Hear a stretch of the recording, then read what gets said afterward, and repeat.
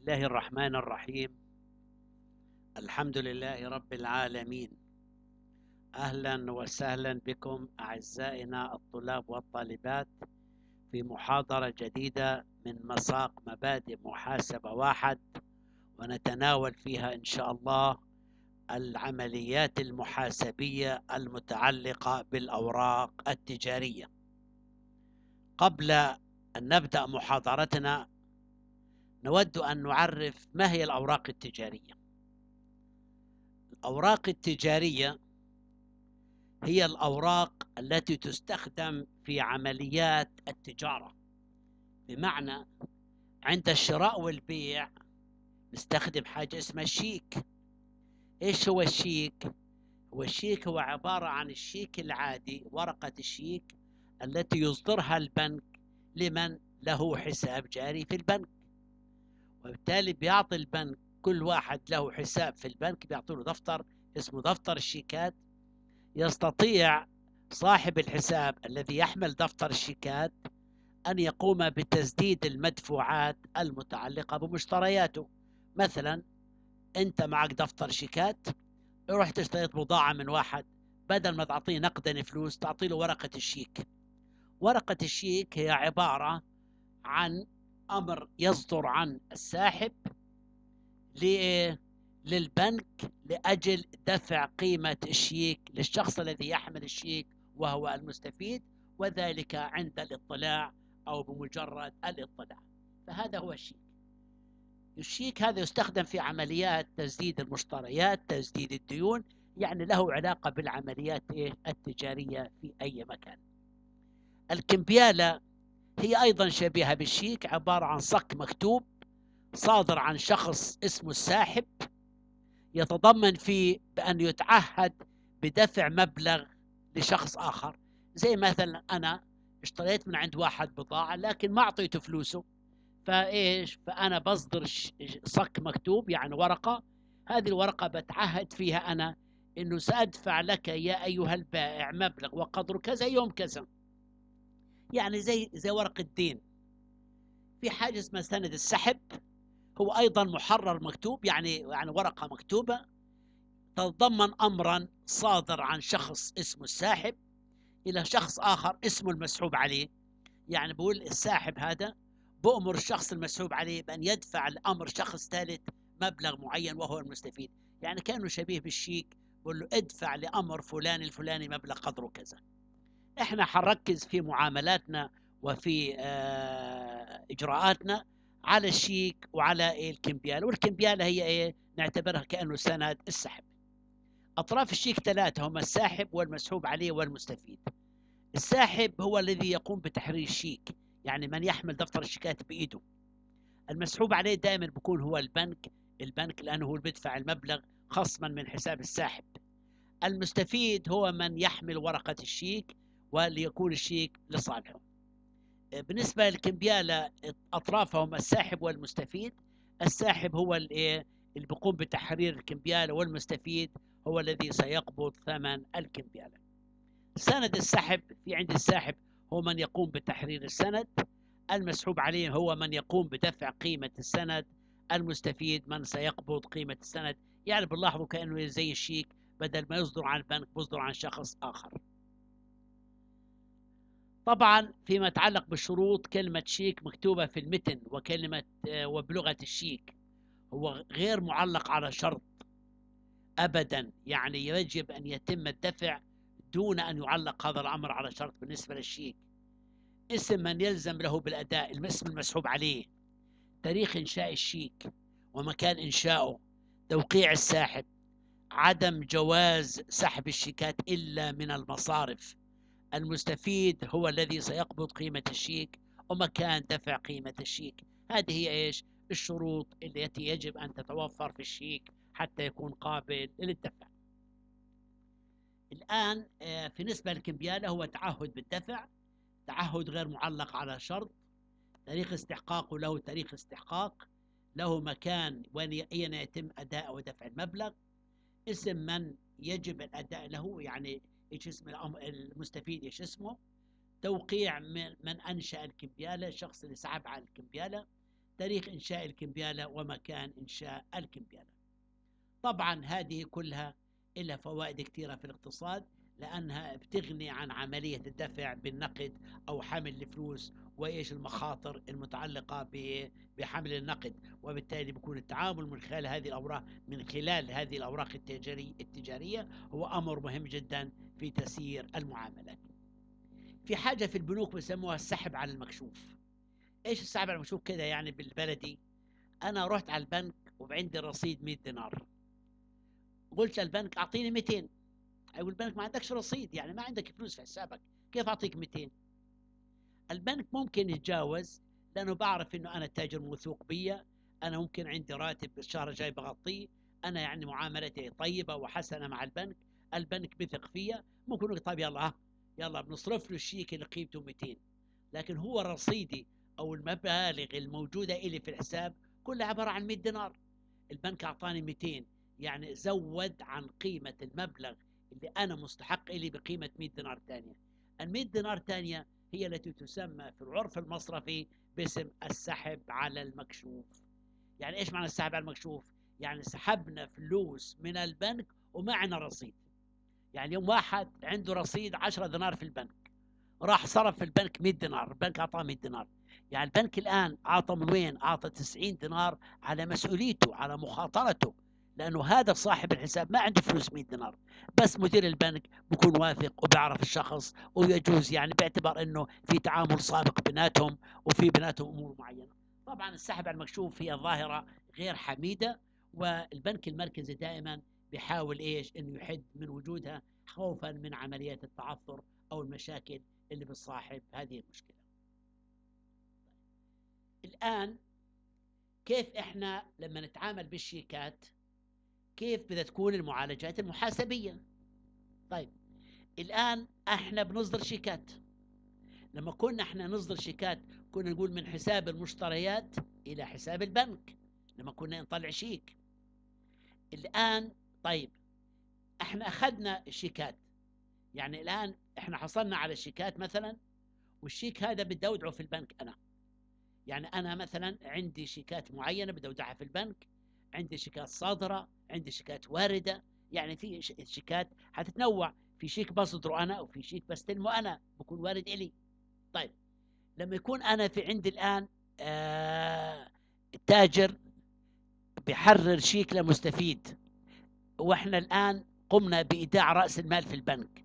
لما نودع رأس مالنا في البنك أكيد حيكون القيد المحاسبي زي ما أخذنا. يعني أنا أحد المساهمين بدل ما إني أنا أدفع نقدا قلت لمدير آه، الشركة أو المسؤول الشركة أنا بدي أعطي شيك.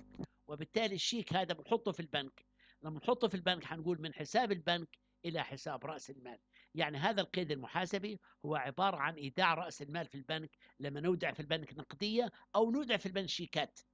يعني إحنا حاطين البنك فلوس نقدية نقد سائل عادي أو حطينا في البنك شيكات هنقول من حساب البنك إلى حساب رأس المال. والبنك بيقوم بدوره في تحصيل قيمة الشيك. اشترينا أثاث فرضا. لما نشتري أثاث ما دفعت قيمة الأثاث نقدا أنا أصدرت شيك وبالتالي بنقول من حساب الأثاث إلى حساب البنك لأن اشتريت أثاث. طيب اشترينا بضاعة. لما نشتري بضاعة بقول على طول من حساب المشتريات إلى حساب البنك. لكن لو كان هذا المبلغ بزيد عن المبلغ الموجود كرصيد ما فيش مشكلة هو القيد المحاسبي كما هو. بس حسابي أنا في البنك بنكشف. يعني أنا اليوم اشتريت بضاعة قيمتها 100 دينار ورصيدي في البنك كله 10 دينار. طلعت الشيك. البنك الآن الشخص أخذ الشيك مفروض أعمل قيد محاسبة أقول فيه من حساب المشتريات إلى حساب البنك. لكن قديش حساب البنك؟ هو كل رصيدي أنا كان في 10 دينار فقط طلعت شيك بقيمة كام؟ بقيمة 100 دينار. هنقول إلى حساب البنك بالكامل وبالتالي حيترتب عليه إن أنا رصيدي في البنك حينكشف لأنه كل ما في فلوس 10 دينار وبالتالي انكشف بقيمة 90 دينار. الشيكات الواردة هي الشيكات التي تتسلمها المنشأة من عملائها. مقابل مبيعات. يعني إحنا بعنا بضاعة لواحد لما بعنا بضاعة لواحد أعطانا شيك ما أعطانا فلوس. لما يعطينا فلوس حنقول من حساب الصندوق لحساب المبيعات. لكن هو أعطانا فلوس أعطانا شيك. برضه القيد المحاسبي بعتبر شيك زي نقدية ولكن هو مش نقدية ستتحول إلى نقدية فيما بعد. بقول من حساب الصندوق إلى حساب المبيعات لما يكون يعطيني شيك. لكن الشيك هذا اللي باخده أنا مش أخليه في جيبتي مش أخليه في الصندوق موجود. حروح أحطه في البنك. وبالتالي بعمل قيد محاسب من حساب البنك إلى حساب الصندوق. إحنا ممكن الخطوات هذه نختزلها كلها ولما نبيع بضاعة على طول بنقول من حساب البنك إلى حساب الصندوق. طيب لو أنا الشيك اللي معايا بديش أحطه في حسابي في البنك يعني مثلا أنا بعت بضاعة لواحد أنتوا يا شباب يا بناتنا بعنا بضاعة لواحد. الشخص هذا أعطانا شيك طلعنا في شيك كده مكتوب عليه البنك العربي. يعني إيش البنك العربي؟ يعني معنى ذلك الشخص اللي أعطانا الشيك هذا حسابه وين؟ حسابه في العربي. بس إحنا المستفيدين من الشيك مالناش حساب في البنك العربي. حسابنا في بنك فلسطين. وين بدي أروح في الشيك أنا هذا؟ بدي أروح أحطه في حسابي أنا في بنك فلسطين. لكن هو الشيك محسوب على البنك العربي. البنك العربي المفروض يدفع لي فلوس. في هذه الحالة لأنه الشيك مسحوب على بنك تاني مش نفس البنك. حنسميه شيكات برسم التحصيل. ليه؟ لأنه لما بديش أخلي البنك مدين. لما هنا أقول من حساب البنك مدين متى لما يكون البنك تبعي شيك مسحوب على بنك فلسطين؟ يعني أنا حسابي في بنك فلسطين والشخص اللي أعطاني الشيك برضه حسابه في بنك فلسطين. في هذه الحالة هنقول من حساب البنك. لكن كون الشيك هذا مسحوب على بنك تاني مش البنك اللي في حسابي أنا حنودي الشيك هذا للتحصيل. وبالتالي حنسميه تحت اسم شيكات برسم التحصيل. يعني شيكات برسم التحصيل يعني شيكات تحت إجراءات التحصيل. حنبعته بنكنا وبنكنا بروح ببعته للبنك العربي وببدأ في عملية تحصيل قيمة الشيك. طيب. كيف نعمل المعالجة المحاسبية في حالة الشيكات الواردة؟ بنفس الطريقة. أول ما نستلم الشيك طبعا حنحطه في البنك حنقول من حساب شيكات برسم التحصيل إلى حساب إيش؟ إلى حساب مثلا الشخص الدائن أو الشخص أو حساب المبيعات فرضا. طيب الآن حطينا الشيك في البنك. البنك بعد يوم اثنين ثلاثة حيخبرنا يقولنا يا شركة فلان أنا حصلت لكم قيمة الشيك. أصبح في هذه الحالة فلوسنا هذه اللي أنا حق اللي كنت مسميها حساب مدين حساب وسيط. يعني حساب مؤقت. حساب بسيط يعني حساب مؤقت. سميته شيك برسم التحصيل.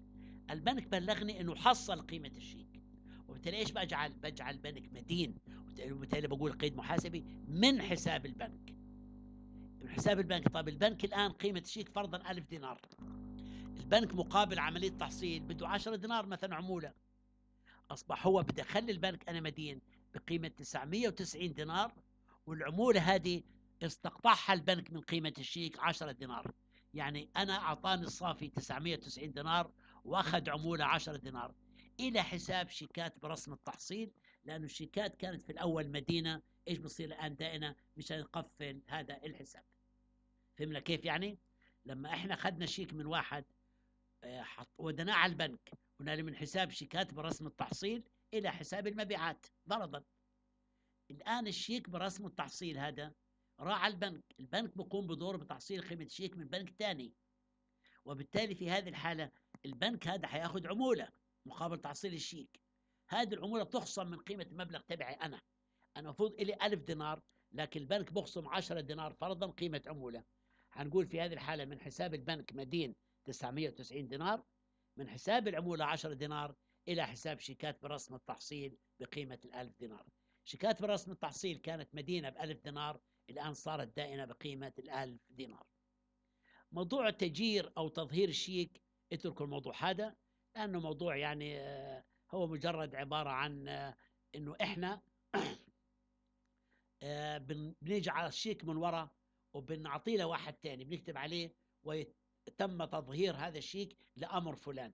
يعني الشيك اللي معانا إحنا أعطيناه مشان نسدد مدفوعات لفلان. يعني أنا مثلا اشتريت بضاعة من واحد بديش أعطي له دفتر شيكات من عندي. عندي دفاتر شيكات أصلا واخدها من ناس تانيين. باجي على ورقة الشيك اللي واخدها من الناس التانية على ظهره بكتب يتم دفع القيمة لصالح فلان. يعني كأنه الشيك أجاني من فلان أعطيته لفلان آخر. آه، فكوك من قيود المحاسبية. هذه عملية سهلة وبتحتاج هذا وبالتالي إحنا مش عايزين نتعمق فيها. كذلك الآن عملية رفض الشيكات. عملية رفض الشيكات يعني رحنا حطينا الشيك في البنك ولكن البنك إيش؟ بده يحصل قيمته من الشخص الساحب. لقى الساحب فيش عنده رصيد. أصبح الشيك حيرفض وبالتالي نبدأ بإلغاء القيود المحاسبية. بدنا نسيب عملية رفض الشيكات أيضا. قيودها سهلة ولكن آه، يعني بلاش نصعب عليكم الموضوع هذا. طيب. الآن معالجة الشيكات برسم التحصيل. هناخد مثال. المثال حناخده الآن بقول لك هنا بتاريخ أربعة خمسة واحد باعت منشأة حسن بضاعة إلى نادر بمبلغ 250 دينار. يعني حسن باع بضاعة لنادر. موجب شيك.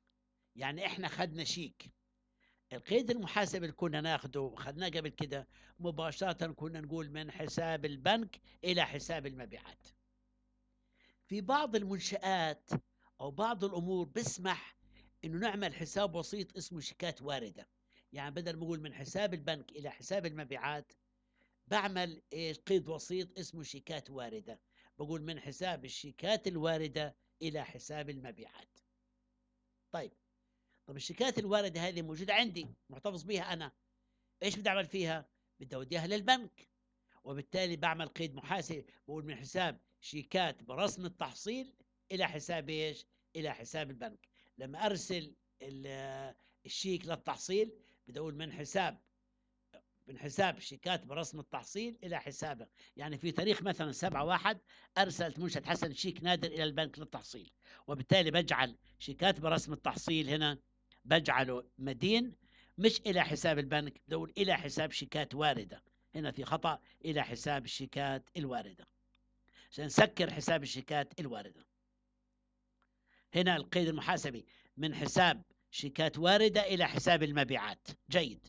يعني ما استلمنا الشيك قلنا من حساب شيكات واردة إلى حساب المبيعات. أو نرجع للقيود اللي تعلمناها في البداية لما نستلم ونبيع بضاعة بشيك هنقول من حساب البنك إلى حساب المبيعات. أنا بفضل دائما على طول القيد المحاسبي من حساب البنك إلى حساب المبيعات. لكن بفترض في محاسب بحب يعمل حساب وسيط اسمه حساب شيكات واردة هنقول من حساب شيكات واردة إلى حساب المبيعات. طب الشيكات الواردة هذه إيش عمل فيها؟ إيش عمل فيها المنشأة؟ حتوديها للبنك. وبالتالي بنعمل قيد محاسبي من حساب شيكات برسم التحصيل إلى حساب الشيكات الواردة. مشان نلغي حساب الشيكات الواردة لنا كمدير من خليدان مشان صلحوا هذا من حساب الشيكات الواردة. أنا بدنا نعتمد الطريقة اللي في آه الامتحانات تاعيتنا وفي فهمنا الموضوع. الطريقة الأولى اللي هو من حساب البنك إلى حساب المبيعات. وبالتالي مش حنعمل حساب اسمه حساب الشيكات الواردة. من حساب البنك إلى حساب المبيعات بشكل مباشر زي ما تعلمنا في الأول من حساب البنك إلى حساب المبيعات وهذا كل المنشآت بتشتغل بهذه الطريقة. طبعا لو كنا نعمل قيد محاسبي اللي هو من حساب آه الشيكات برسم التحصيل إلى حساب الشيكات الواردة زي القيد السابق الآن البنك بلغنا قال حصلت لك القيمة يا شركة وبالتالي هنا بنجعل البنك مدين وبنحط حط حساب اسمه حساب العمولة إلى حساب شيكات برسم التحصيل مشان نلغي الحساب المدين اللي كان مفتوح أصلا عندي اسمه حساب شيكات برسم التحصيل. يعني بنجعل بنك مدين بقيمة 200 دينار والعمولة 50 دينار 250 إلى حساب شيكات برسم التحصيل. نرجع القيد هنا. شفتوا شيكات برسم التحصيل مدينة. آه مدينة. هذا مش إلى حساب البنك إلى حساب شيكات واردة. صلحوها إلى حساب شيكات واردة. إلى حساب شيكات واردة. تصلح أنا. شيكات واردة. صلحت صارت اسمها حساب شيكات واردة. شيكات واردة هنا مدينة وهنا دينة شطوا بعض. ظهر عندي حساب جديد اسمه شيكات برسم التحصيل. لأن شيكات برسم التحصيل هذه ظهر عندي حساب جديد بدي أقفله هنا بخليه دائن وبالتالي هنا بنقول إيش؟ هنا من حساب البنك بقيمة 200 دينار العمولة 50 دينار إلى حساب شيكات برسم التحصيل 250 250 شيكات برسم التحصيل هنا كانت مدينة 250 وهنا أصبحت دائنة بقيمة كام؟ 250 سكر بعضه الحساب. طيب.